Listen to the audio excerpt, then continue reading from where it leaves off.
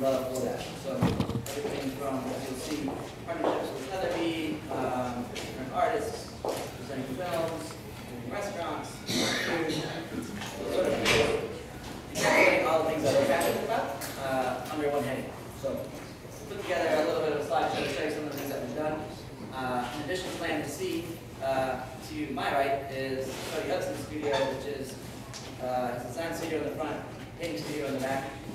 Which we'll tour later, is Mode Carpentry, which is John Roberts' company, uh, and they build all the stuff.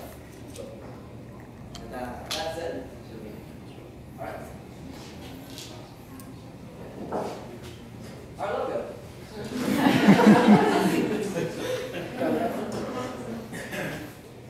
Uh, this is a little bit about what we do, uh, little mission statement of ours.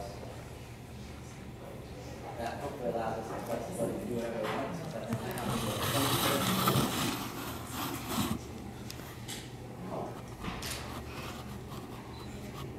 Um, so basically how we're organizing things internally is that we're giving everything a project number.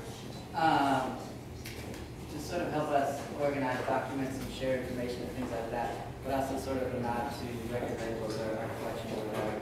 So we see everything as a project-based, kind of as its own sort of entity. Um, so this is list of things that we have going on. I don't think any of it's confidential at this point.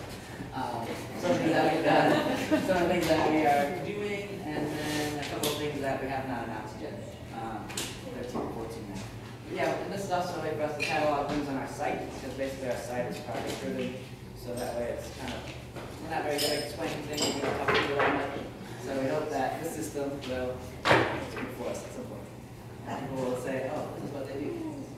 So then we don't have to all right. So this is an interior shot of Long Benita, um, which is one of the first things that we, the four of us really collaborated on together. Uh, of love is very intensive. Uh, we did on a very low budget, um, which generally means that I worked super hard, and John worked super hard, and Cody worked super hard. but in this case, we did not have a lot of knowledge. It was the first sort of restaurant thing we tried to do. We did not have a lot of restaurant experience or knowledge, which is quickly apparent to us when we interviewed other people who had knowledge. Um, they quickly called us out a lot on that sort of thing.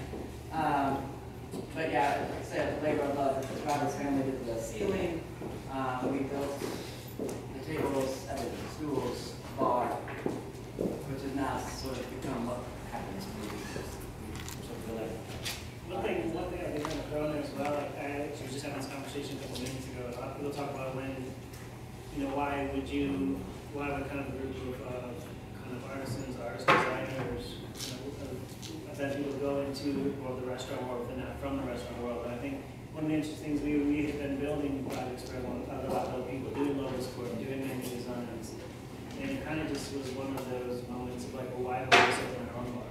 and we're passionate about it. Instead, you know, it's, it's amazing getting these projects for other people and then helping them sell them. But at a certain point, there was, uh, you know, pride, like, well, we, we all kind of live close to this spot. I feel like Logan's Griffith could use a bar, and why don't we just build our own bar there before someone else does, and just hires us to build a bar and do the other stuff, so. Yeah, suppose we complained about places that we that didn't like, but that really we would like to hang out at, maybe just us, so. um, Yeah, so to go to the point, yeah, we definitely, we, uh, we thought maybe we should just try to satisfy maybe some of our own inclinations, uh, on the legal, and that being the case. Uh, some more interior shots of Long. Uh, in this case, I can use some detail. Uh, Cody built that roof out of scrap material. Um, I'm not sure if all of you have seen it, but uh, it's a very detailed piece. Uh, with the scaffold.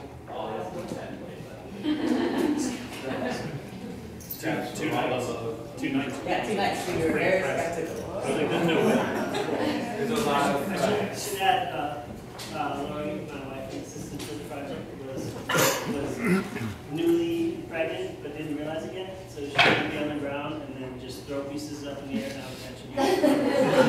Small, small, small, and then she would throw a bunch of small stuff, walk and the scaffold became really hard after a while, so. we had to hold her.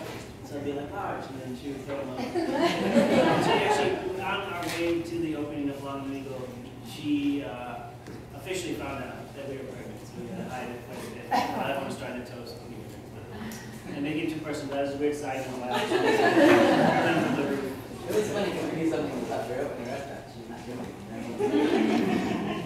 I like call it out. All the scraps are from uh, different restaurants and bars throughout Chicago. People's homes. Yeah, there's at least five restaurants.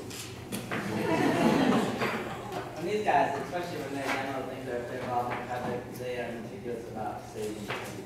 So as you'll see, not in all of the, we have some space over here. in the scene, but they catalog a lot of them, put it all back together and save it for future use. We'll show you some examples of that.